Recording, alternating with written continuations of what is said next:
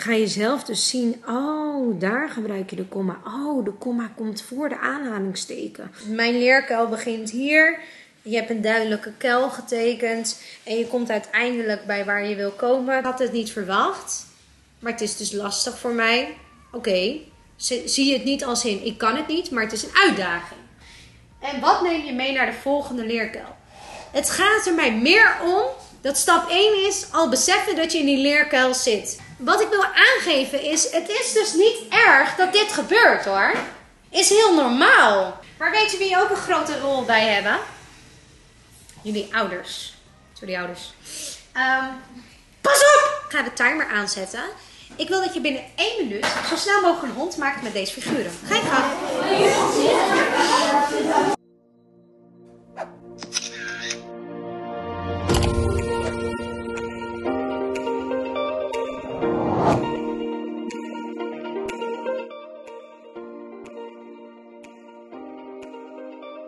Hele goede morgen. Het is vandaag maandag 31 oktober.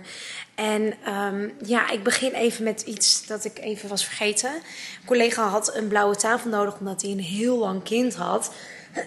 in groep 6. Dus toen dacht ik, oké, het is een verlenging van mijn bureau. Maar wat gebeurt er volgens met mijn bureau? Bam. Dus, maar het is een uitdaging. Hè, een uitdaging gaan we niet in de, in de weg. De leerkuil gaan we in. Uh, over de leerkuil gesproken, daar ga ik vandaag jullie meenemen. Ik ga jullie ook meenemen in um, een vette stelopdracht. Ja, ik, ik begin helemaal feeling te krijgen voor het stelonderwijs. Dus eh, ja, het wordt een beetje veel filmen, maar ik ga proberen echt de essentie neer te zetten. Um, de mindsetles is wel even goed om te weten. Ik kan bepaalde dingen wel delen en bepaalde dingen niet. Dus ik zal de les half kunnen delen. Waarom? Ik heb namelijk platform Mindset uh, benaderd. En ik heb gevraagd, joh, wil nu even kijken? Ik heb een les gemaakt. Ik deel namelijk al mijn lessen. Mag dat? Nou, zolang ik de plaatjes maar eruit haal.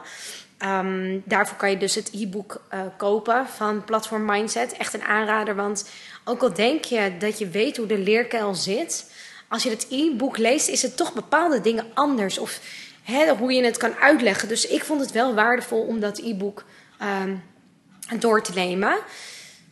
Maar um, ik neem nu gewoon mee. Ik ga alleen nu even de stelopdracht nog het antwoordenblad maken. Dus uh, ja. En wat nou precies? Ja, misschien kan ik het wel kort uitleggen, misschien ook niet. Dan hoef ik dat namelijk niet te filmen. Kijk of wat sneller is. Ik ga het even erbij pakken, de les. Dit is dus uh, het doel. Dus ik kan aan de hand van de tekst de criteria benoemen van een verhaal. En daarna kunnen ze criteria nu. Uh, ik kan met de criteria nu mijn eigen verhaal beoordelen. Nou, dan hebben we het eerst over welke leestekens zijn er. Ik kan je voorbeelden noemen. En dan hebben we bam, heel veel tekst. Ik weet ook niet, ik moet even kijken of ik dit korter kan krijgen. Sowieso, als ik misschien um, wat kleiner maak en dan wat spaties erin zet. Dat is misschien ook prettiger lezen. Hotzee. En dan zet ik deze criteria ook even op Google Classroom, want anders. Uh, zo. Ja, ik denk dat dit in ieder geval wat fijner is om naar te kijken. Um, ze krijgen een tekst uitgedeeld. Daarbij ga je een legenda maken van kleuren. Elke kleur staat voor een leesteken. Uh, de kleurcode staat op Google Classroom, dat laat ik zo zien. Uh, de legenda maak je zichtbaar aan de rechterkant op het witte vlak, dus op het werkblad. Um, als je alle leestekens hebt gedaan, ga je eigen criteria maken. Wanneer gebruik je dus een hoofdletter, bijvoorbeeld aan het begin van elke zin. Je schrijft daarna de succescriteria op in een tabel gericht op leestekens. Nou, en als ze klaar zijn, dan gaan ze dus hun eigen werk beoordelen aan de hand van die criteria. Dus dit gaan ze dan invullen. Dat noem ik even succescriteria leestekens. Nou, deze zet ik dus op Google Classroom. Dus moet ik zelf ook natuurlijk even een antwoordenblad uh, maken. En wat heb ik nou gedaan? Ik heb een, een bladzijde gekopieerd. Twee bladzijden uit het boek wat we nu lezen met Blink. Namelijk van Anna Wolf Schips. En dan ga ik namelijk en dan uh, even markeren. En dan is dit je legenda. Dit is dat witte vlak wat ik bedoelde. Dus elke kleur. En dan ga je dus markeren. En waar ik dus zelf achter kwam, dat is dus heel grappig, is op een gegeven moment ga je zelf dus zien, oh, daar gebruik je de komma. Oh, de komma komt voor de aanhalingsteken. Of hé, hey, ik zie iets schuin gedrukt. Waarom zou dat schuin gedrukt zijn? Dus ze gaan zelf eigenlijk hun succescriteria maken. En dan gaan ze hetzelfde doen. Alleen hier weten ze dat de leestekens goed staan. En bij zichzelf moeten ze dus kijken: hé, hey, nu heb ik een criteria. Hoe heb ik dat dan gedaan met mijn huiswerkopdracht? Dus die heb ik al geprint. Ik moet er nog vier printen. En dan, uh, ja, de kinderen zijn er geen, dus ik kan mooi even dit doen.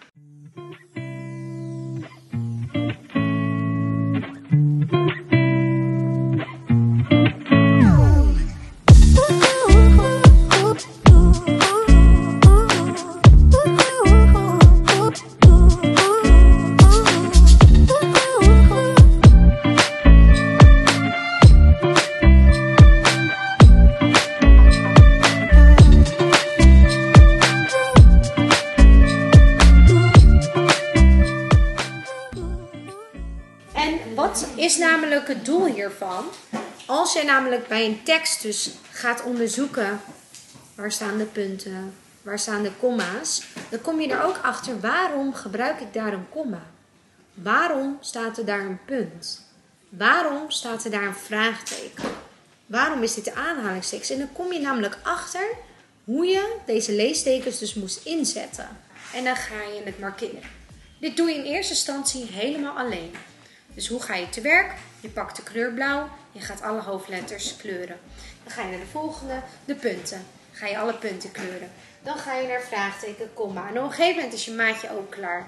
En dan ga je met elkaar kijken, oké, wat zou dan de succescriteria zijn? Dat stukje mag je samen doen.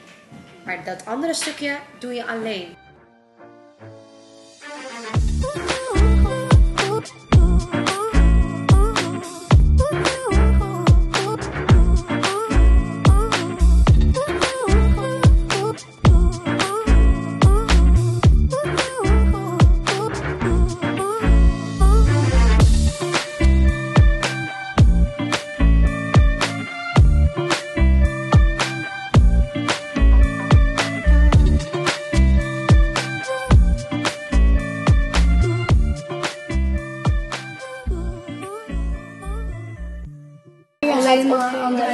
Bijvoorbeeld, staat hier ook ergens in de tekst, staat er van uh, de mooie, schattige, goede, kleine is ook aan het eind van de zin. Bijvoorbeeld, daar zet je allemaal komma's Aan het eind van de zin, bijvoorbeeld. Jullie gaan leren wat een leerkuil is.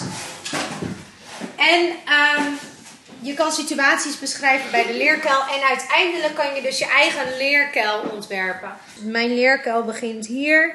Je hebt een duidelijke kuil getekend en je komt uiteindelijk bij waar je wil komen. Dat is Hogwarts. En uh, dan zal ik nog eens uitleggen aan de hand van deze, zeg maar, de gewone leerkuil, hoe mijn leerkuil dan is, is gemaakt. Want je kan op verschillende manieren naar de leerkuil toe gaan. Om dit eindproduct te maken moet je eerst weten waarvoor de leerkuil is. Ja, naar het bord sturen. Wat wil jij weten over dit onderwerp? Dus wat, waar ben je nu nieuwsgierig naar? Naar de leerkuil? Wat wil je weten? Waarom is mindset zo belangrijk? Wat is het nut ervan? Hoe verander je mindset?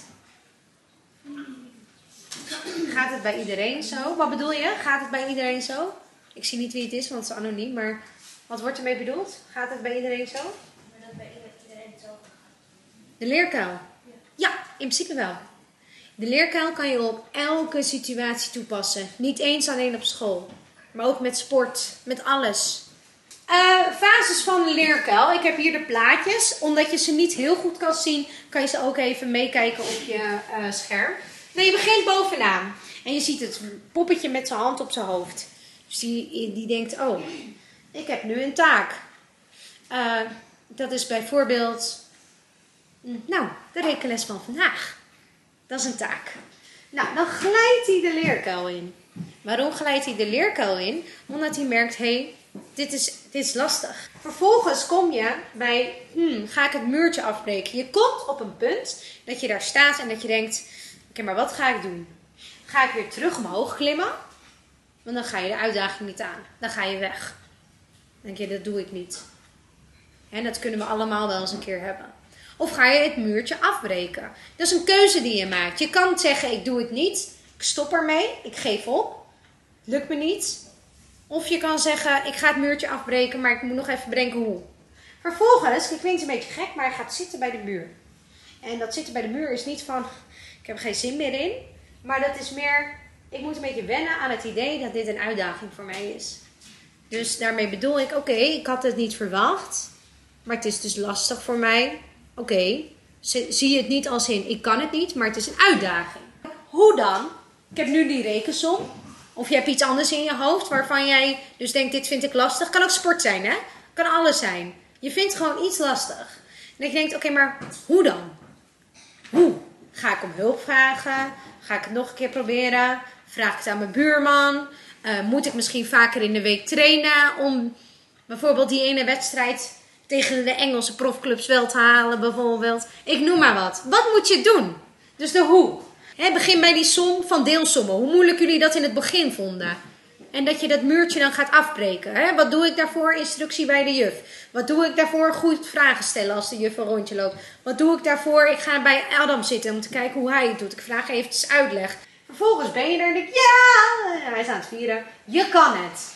Maar als je hier bent, dan komt eigenlijk de belangrijkste stap. En die doen we bijna nooit. Hoe komt het nou dat jij die leerkuil uit bent gegaan? Wat heeft mij geholpen? Welke woorden zei ik tegen mezelf toen ik in een leerkuil gleed? Welke waren reëel? Weet je wat reëel is? Welke zijn realistisch? Dus ja, ik kan wel uh, denken van, ik word de beste in rekenen. Maar is dat realistisch? Kan dat? Ja, sommige wel, maar... Of je zegt, ik kan straks deelsommen het een ander uitleggen. Is dat realistisch? Nou, denk het wel. En wat neem je mee naar de volgende leerkuil?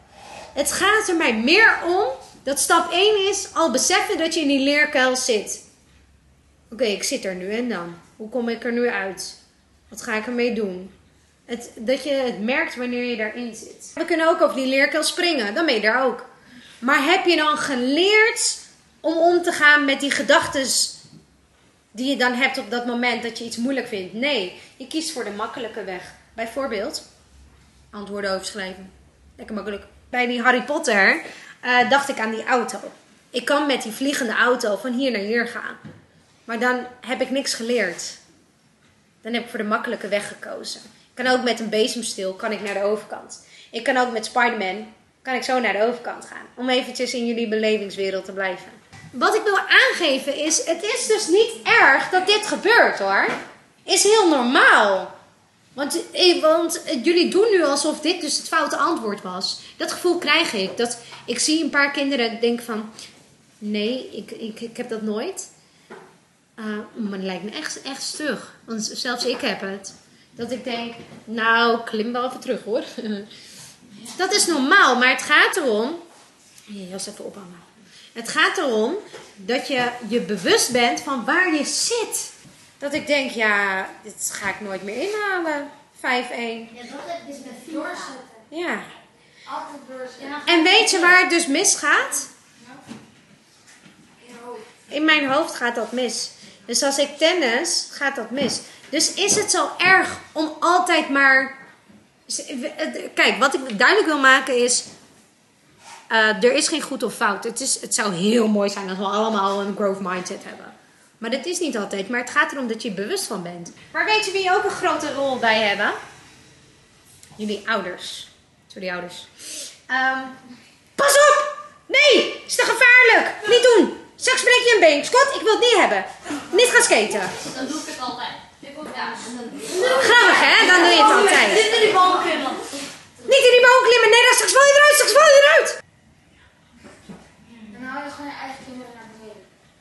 Nou, naar beneden wil ik niet zeggen. Ze beschermen je. Het is fijn, want ze beschermen je. Jij staat bij het puntje van die leerkuil. En jij bent nu papa. Ik wil gaan Af. leren en Af, af, af, ik mag niet leren. af. Maar, weet je dat dit heel normaal is, wat ouders doen? Bespreek eens een situatie straks met je schoudermaatje waarbij jouw ouders zeggen van... Het kan zo zijn, dit is te gevaarlijk. Het kan zo zijn, dit is te spannend. Wat ik heel erg wil benadrukken is... En het is natuurlijk heel persoonlijk, hè? Ik vertel ook iets persoonlijk over mezelf. Ehm, en nou vind ik het altijd heel mooi als je het deelt. Maar dit hoeft niet. Want misschien heb je nu wel iets in je hoofd dat je denkt: oh ja, hè, dat wil ik niet delen. Dan is dat van jou, dat is oké. Het gaat er meer om: herken je het? Daar ben ik al heel blij mee. Hè? Herken je het? Dat, ehm, dit, ik ben zelf geen moeder, hè? Nog niet. Moet ik ook een man voor hebben, maar goed. Uh, dat terzijde. Um, ik ben geen moeder. Dus ik kan heel makkelijk zeggen: Zo'n moeder word ik niet.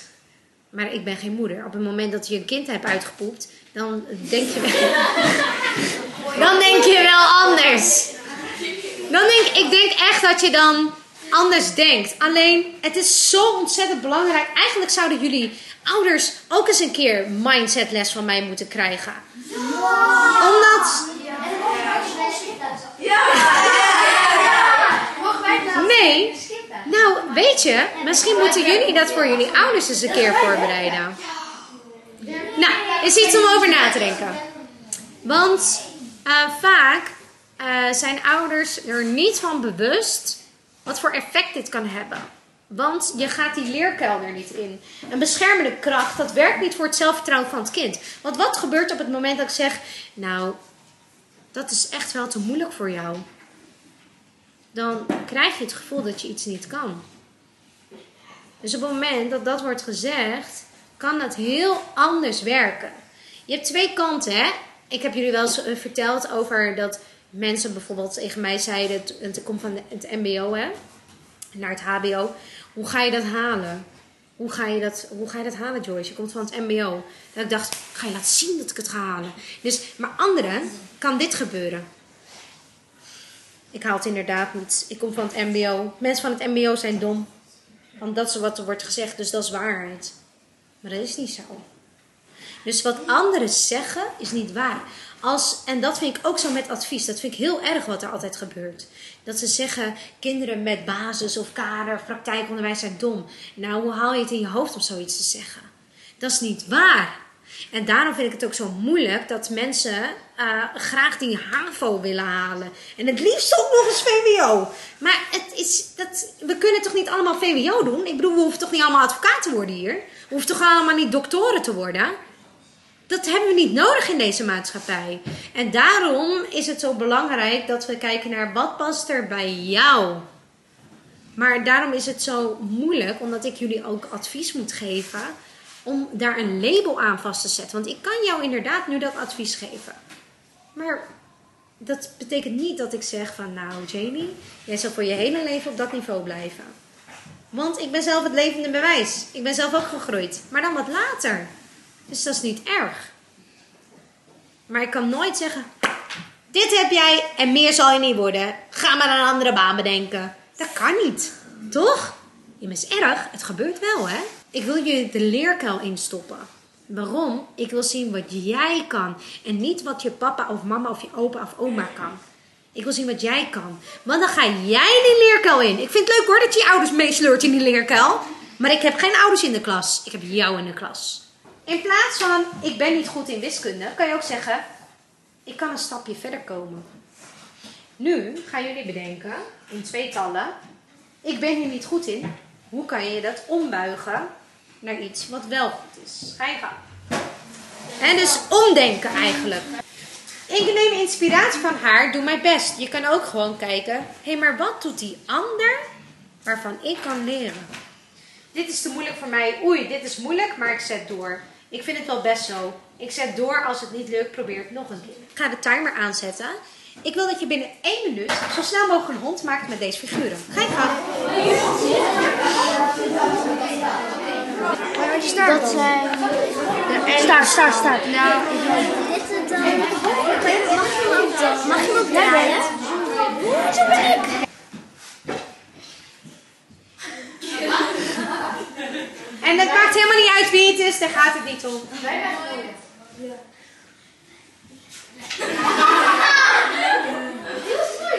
is mooi.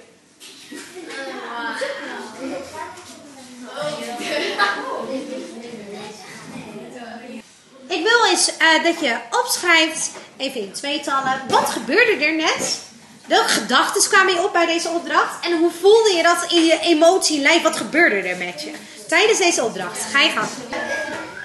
Um, raakte gestrest. Kijken, we waren gestrest, makkelijk, grappig, leuk. we gebruiken onze fantasie. Uh, gedachten, makkelijk, grappig. Dat ik, oh ja, dat ik het moest halen. Wie had dat ook, die gedachte? Van ik moet het halen binnen die minuut. Nou komt de tweede opdracht. Ja? Het gaat erom wat je ervaart, wat er dus nu met je gebeurt. Deze opdracht doen we volledig in stilte. Dus je doet hem helemaal zelf. Ik wil dat je bewust bent van wat er dus gebeurt. Daar komt de volgende opdracht. Maak deze origami maar na. Uh, stil. En je gaat, het is helemaal stil, je moet hem vouwen. Het is helemaal stil en je maakt hem na. Je mag niet overleggen, je mag niks opzoeken. Je gaat hem gewoon proberen.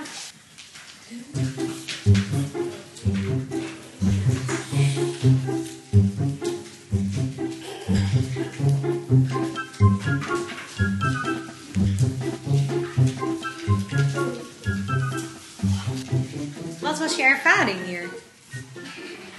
Gaan we kijken. Ik raakte in paniek. Error zo van hoe lachen. Ik wist niet wat ik moest doen. Het lukte niet. Maar in shock. Dit is toch onmogelijk? Wat, wat moet dit hel? Ik had opgeschreven, hoe begin ik? Heb ik wel juiste vorm papier? Mag ik knippen? Het is best confronterend dat het mij ook niet direct lukt. Maar nu kan je met YouTube maken.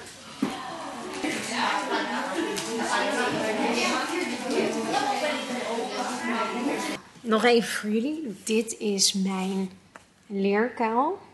Dus ik ben helemaal losgegaan. Daar heb ik vijf uur over gedaan. Toen zeiden ze, maar juf, u krijgt zoveel tijd en wij niet. En dan denk ik, ja, dat klopt, want ik heb ook andere vakken ontgeven.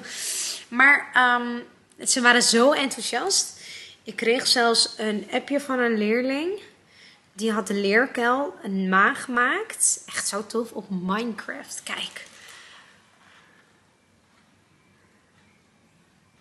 Hoe tof is dit? Dus die heeft gewoon die volledige leerkuil in Minecraft gemaakt. Nou, en de ander had al idee over Super Mario. En de ander had weer idee over Marvel. En ze gingen helemaal los. Ze waren zo enthousiast. Maar um, buiten dat natuurlijk uh, begon ik met... Hè, zie je nu het nut van de leerkuil? En wat ik heel erg merkte tijdens de les... is dat niet iedereen durfde te zeggen van... Ik zeg, wie zit hier wel eens? Of wie klimt er wel eens terug in de leerkuil? Leerkuil, zo moeilijk woord. um, en toen was het, ja, een paar. Toen zei ik, hè, maar ik, ik heb dat wel vaker hoor. En het is namelijk niet fout dat je soms fixed gedachten hebt. Of dat je... Het is, het is een proces waar je doorheen gaat. En je moet dus leren omgaan met die gedachten en die emoties. Zodat je daar steeds beter in wordt. Hoe kan je daar nou mee leren omgaan. Het gaat erom hoe ga je ermee om. Um, wat super grappig was met die origami vouwen, is dat je echt ziet dat de ene het ook gewoon wegstopt. Die denkt, laat maar, dit kan ik niet. De ander die gaat wel daar helemaal voor, stap voor stap, gaat terug. Hoe dan? Wow, dit gaat echt snel. Dit is echt waar mindset om gaat. Iets doen waarvan je het niet helemaal in de vingers hebt, dus het is lastig. Hoe ga je daarmee om? ga, je dan, ga je dan weer terugklimmen in de leerkuil? Ga je kijken naar je gereedschapskist? Ga je het muurtje afbreken?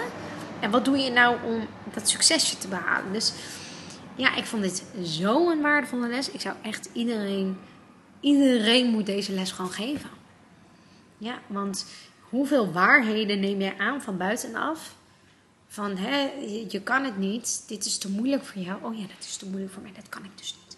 Dat, dat neem je aan als waarheid. Ik vond het echt waardevol. Had ik uh, welke zinnen horen bij welke leerkuil?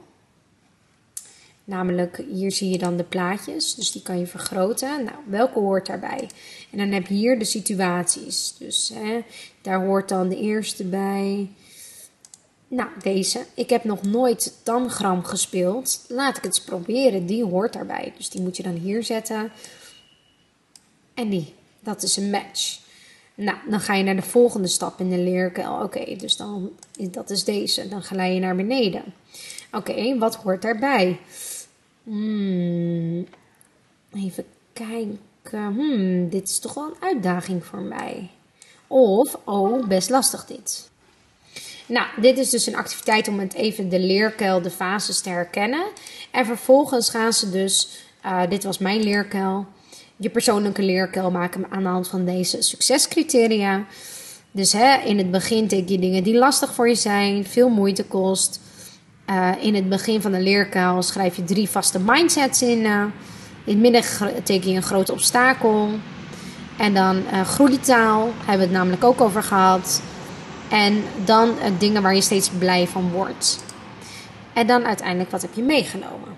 Dus deze inspiratie heb ik wederom ook dankzij Mariska. Um, zij had mij een voorbeeld gestuurd over die leerkuil, die zij dan inzet in groep 5. Dus het kan ook bij groep 5. En ik had um, uh, het e-book van de platform Mindset gebruikt. Om dit dus echt als leerkracht de kennis te weten over wat is nou die leerkuil, welke fases heb je en wat denk je bij elke fase en noem eens een situatie. En ik gaf mezelf ook als voorbeeld, uh, want juist daar zijn ze ook geïnteresseerd in. Hè? Maar wanneer heeft u het? Dan denk ik, ja, ik heb het ook wel eens. En het is, is niets verkeerd. Ik heb dat zelfs vaker. Ik had dat vandaag nog met, met dat mijn programma niet uitkwam. Toen zag ik ook wel, wat ga ik nu doen? Toen was ik bij mijn gereedschapkist. Ga ik, dit, ga ik mijn mindsetles wel of niet doen? Ja, ik vind het wel waardevol. Dus ik heb het wel gedaan. En zo ben je steeds weer aan het leren. Dus uh, ja, ik heb nu een cursus van tekenen in de klas. Dus uh, ik ga alvast inloggen. Daar neem ik jullie nu even niet in mee. Dus ik zou zeggen, ga die leerkuil doen. Het is zo waardevol. Bedankt voor het kijken en tot de volgende vlog.